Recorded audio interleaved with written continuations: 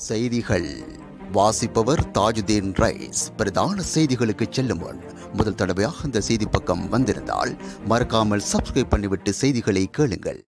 Today top news இலங்கையில் சிரோசிஸால் பாதிக்கப்பட்டு கண்டி தேசிய வைத்தியசாலையில் சிகிச்சை பெற்று வந்த நிலையில் உயிரிழந்த அறுபத்தி ஐந்து வயதுடைய நபர் ஒருவருக்கு கோவிட் வைரஸ் தொற்று இருப்பது உறுதிப்படுத்தப்பட்டுள்ளது. கம்பளை உலப்பணியைச் சேர்ந்த அறுபத்தி ஐந்து வயதுடைய ஒருவரே இவ்வாறு உயிரிழந்துள்ளார். கண்டி தேசிய வைத்தியசாலையின் பணிப்பாளர் வைத்தியர் இரேசா பெர்னாண்டோ பிசிஆர் பரிசோதனையில் அவருக்கு கோவிட் வைரஸ் தொற்று இருப்பது உறுதி செய்யப்பட்டுள்ளதாக கூறியுள்ளார். ஆனால் இந்தியாவில் பரவும் புதிய வகை கோவிட் வைரஸ் தொடர்பில் மக்கள் தேவையற்ற அச்சமடைய வேண்டாம் என அரசாங்க மருத்துவ சங்கம் அறிவித்துள்ளது. நாளை பௌர்ணமி தினத்தில் சுனாமி ஏற்படக்கூடும் என மக்கள் மற்றும் சமூக ஊடகங்கள் மத்தியில் பரவி வரும் தகவல் முற்றிலும் பொய்யானது என வளிமண்டலவியல் திணைக்களத்தின் பணிப்பாளர் நாயகம் அதுல கருணாநாயக்க வலியுறுத்தியுள்ளார்.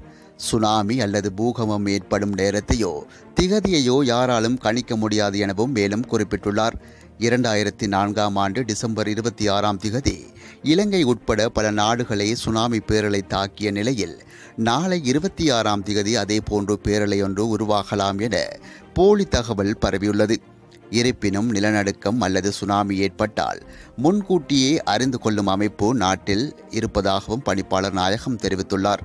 இவ்வா எவ்வாறாயினும் இருபத்தி நான்கு மணி நேரமும் தொடர்ந்து கண்காணிப்பில் இருப்பதாக சர்வதேச சுனாமி எச்சரிக்கை மையம் தெரிவித்துள்ளன. இதனால் மக்கள் தேவையற்ற அச்சத்தை ஏற்படுத்திக் கொள்ள வேண்டாம் எனவும் வளிமண்டலவியல் திணைக்களம் தெரிவித்துள்ளது. இந்த ஆண்டு டிசம்பர் இருபத்தி ஆறாம் தேதி உடுவ பௌர்ணமி வருவதனால் மக்கள் மத்தியில் அச்சம் ஏற்பட்டுள்ளமை குறிப்பிடத்தக்கது.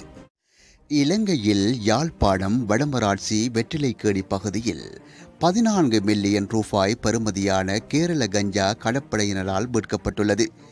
வெற்றிலைக்கேணி கடற்பகுதியில் சந்தேகத்துக்கிடமான முறையில் கரை ஒதுங்கிய சாக்கு மூட்டை ஒன்று நேற்று இருபத்தி நான்கு பனிரெண்டு இரண்டாயிரத்தி இருபத்தி மூணு மீட்கப்பட்டுள்ளது. குறித்த சாக்கு மூட்டையினை சோதனை செய்த கடற்படையினர் பதினாறு பொதிகளில் அடைக்கப்பட்டிருந்த சுமார் முப்பத்தி ஐந்து கிலோ நூறு கிராம் கேரள கஞ்சாவை கண்டுபிடித்துள்ளனர். இவ்வாறு மீட்கப்பட்ட கேரள கஞ்சா மேலதிக நடவடிக்கைக்காக போலீசாரிடம் ஒப்படைக்கப்பட்டுள்ளமை குறிப்பிடத்தக்கது. இலங்கையில் பாதுக்க துண்டான பிரதேசத்தில் இடம்பெற்ற துப்பாக்கி சூட்டு சம்பவத்தில் இருவர் உயிரிழந்துள்ளனர். பாத்தாள உலக குழுக்களுக்கு இடையில் இடம்பெற்ற மோதலில் குறித்த இருவரும் உயிரிழந்திருக்கலாம் என போலீசார் சந்தேகம் வெளியிட்டுள்ளனர். இந்த துப்பாக்கி சூட்டில் பாத்தாள உலக குழு உறுப்பினர் மன்னா ரொஷான் மற்றும் அவரது சகா ஒருவரும் உயிரிழந்துள்ளதாக தெரிவிக்கப்பட்டமை குறிப்பிடத்தக்கது. இலங்கையில் உணவகம் ஒன்றில் உணவு அருந்தும் போது திடீரென நெஞ்சு வலி ஏற்பட்டு வைத்திய நிலைக்கு கொண்டு சென்ற போது இலங்கை வங்கி உத்தியோகத்தர் ஒருவர் உயிரிழந்துள்ளார். முல்லைத்தீவு ஒட்டி சுட்டான் இலங்கை வங்கியில் நிறைவேற்று தர உத்தியோகத்தராக பணிபுரிந்து வந்தவரே இவ்வாறு உயிரிழந்துள்ளார். பருத்தித்துறை தம்பசெட்டி சொந்த இடமாக கொண்ட முப்பத்தி எட்டு வயதான பாலசுப்ரமணியம் மதனகுமார் வயது முப்பத்தி எட்டு என்பவரே இவ்வாறு உயிரிழந்துள்ளதாக முகநூலில் துறை சயந்தன் என்பவரே பதிவிட்டுள்ளமை குறிப்பிடத்தக்கது. அனுராதபுரம் தமுத்தேகம்ப தேக்கவத்தை பகுதியில் சிசுவை புதைத்த பெண்ணொருவரை போலீசார் கைது செய்துள்ளனர்.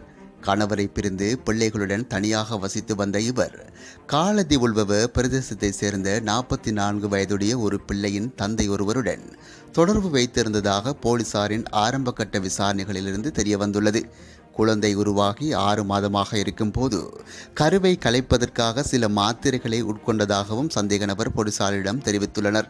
அந்த தகவலின் அடிப்படையில் மேற்கொள்ளப்பட்ட விசாரணைகளின் போது சிசு புதைக்கப்பட்ட இடத்தை தம்புத்தேகம போலீசார் கண்டுபிடித்துள்ளனர். சம்பவம் தொடர்பில் சந்தேக நபரான பெண்ணும் அவரது முறைகேடான கணவரும் கைது செய்யப்பட்டு தம்புத்தேகம நீதவான் நீதிமன்றில் ஆஜர்படுத்தப்பட்டுள்ளனர்.